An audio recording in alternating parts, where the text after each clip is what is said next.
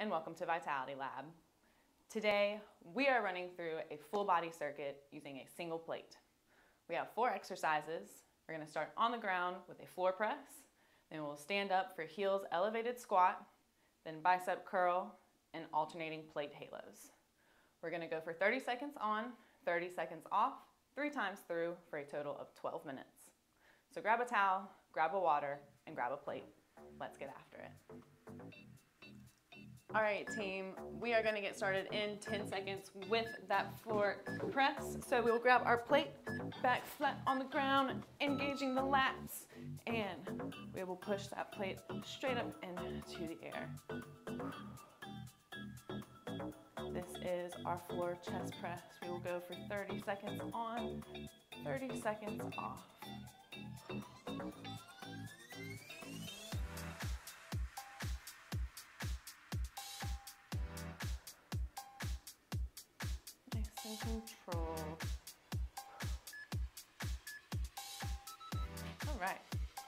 Are standing up. We have heels elevated squat. So we'll put our plate on the ground and elevate our heels, dropping down for that squat. We have 30 seconds. You want about mid-foot on the plate. And we're just going to drop down to a comfortable depth. Challenging, comfortable for you. Here we go. 30 seconds. You'll feel this more in your quads than you would a typical squat.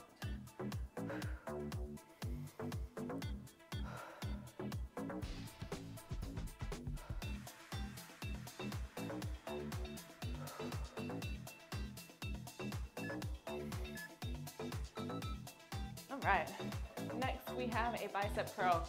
So we will pick up our plate and we will essentially be doing a hammer curl and that is palms facing each other. So we'll get into a nice stance, feet about shoulder width apart, keeping the core nice and tight. We don't want any rib cage flaring. Tuck the tailbone, stack the ribs over the hips.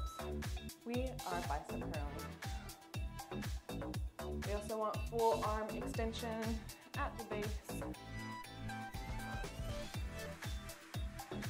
Now if you do not have access to a plate, a single dumbbell is fine and just holding on either end.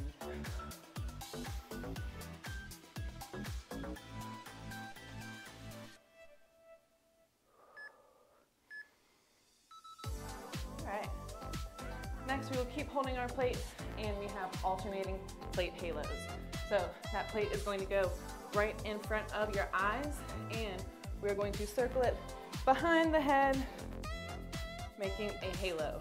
Then we will go to the opposite side, wanting to keep those elbows nice and high the whole time. All right, so give a second, shake it out for the remainder of our rest. Here we go, alternating plate halos. Again, we want to make sure that the rib cage does not flare out here. So tuck the tailbone, make sure that the rib cage is stacked over top of your hips.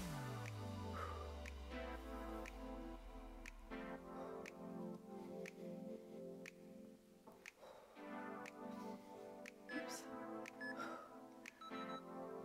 All right, that was set one. We have two more to go. So we will lay back onto the ground and get reset for the chest press. Now, when I said to engage your lats, your lats are the muscle that cover all right here on your back. So what you will do is squeeze them when you are on the ground, and that will create just a small arch in your back. What that does is it prevents us from using too much of the anterior deltoid when we are pressing.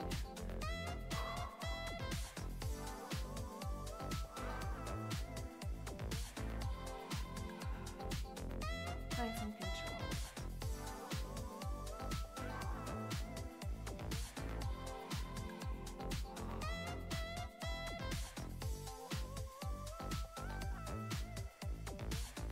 Nice work team, keep it up. We are standing up for those heel elevated squat. So again, putting the plate flat on the ground and about mid-foot is going to be on the plate. Then we will drop down to a comfortable but challenging depth for you. We do want to try to keep the torso upright, no caving forward. Here we go. Heel elevated squats. You still want to push fully through both feet, even though those heels are elevated.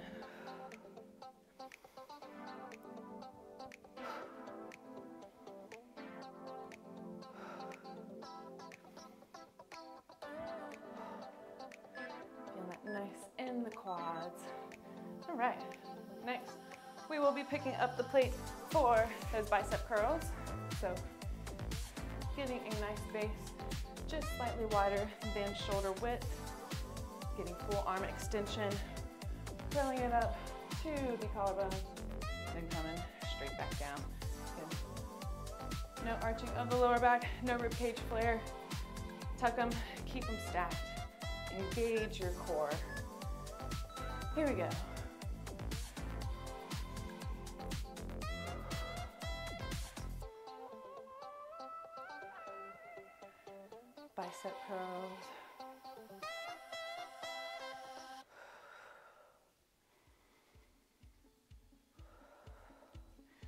Exhaling as you are raising up. Inhale as you are lowering.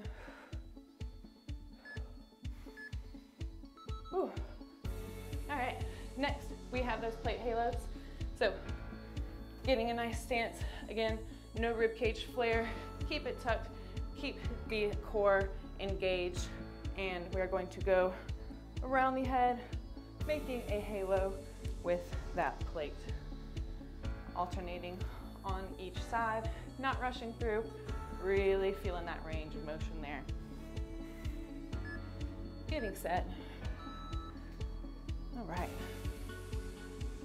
Alternating plate halos, making sure that plate comes right in front of the eyes or forehead when it's back to the starting position.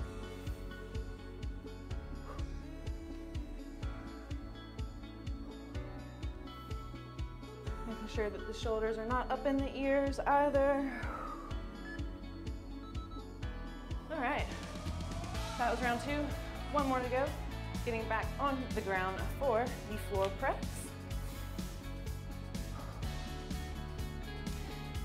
This time, I want you to try to slowly lower on all of these. That is going to add a little bit more difficulty controlling on the negative here we go.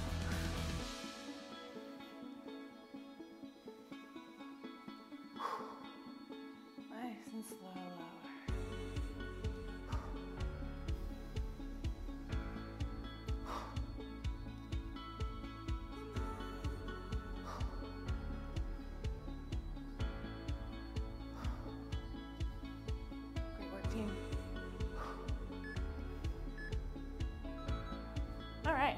Standing up, we have the heel elevated squats. So plate on the ground, midfoot and heels are on that plate. Then dropping down to a challenging but doable depth for you. You want to take these nice and slow as well. Dropping down.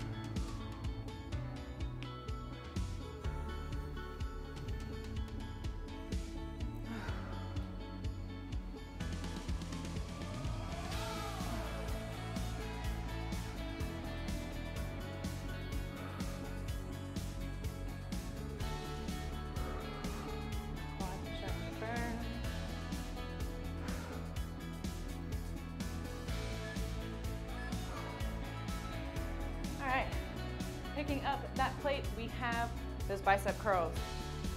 So again, this is a hammer curl. So our hands, palms will be facing each other.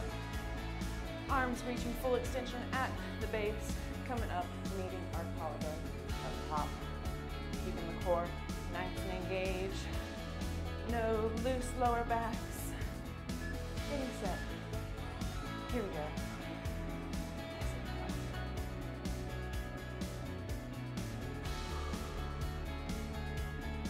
A little bit more difficulty?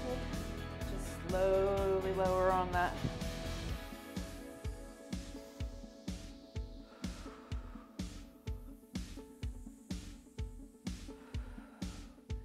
Adds more time under tension to the muscle, a little bit greater stress. All right, final exercise, we have the alternating plate halos.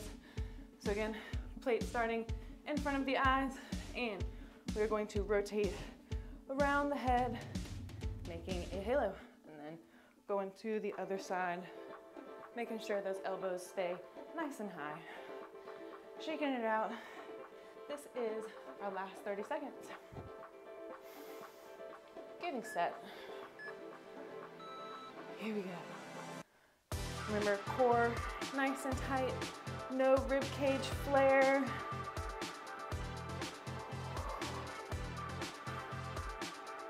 Elbows high.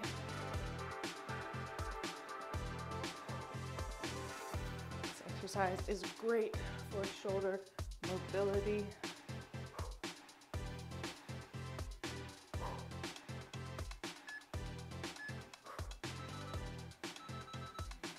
Woo.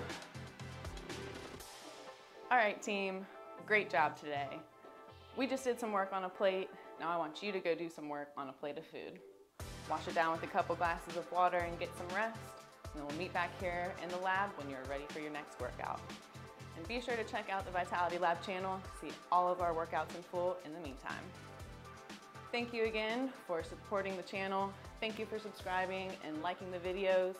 It is currently the best and only way to support me and the channel, so I really appreciate it. And also, leave us a comment. Let us know what equipment you have in your home or what you're working with, and we'll try to do a video that is best for you. And as always, do good, stay vital.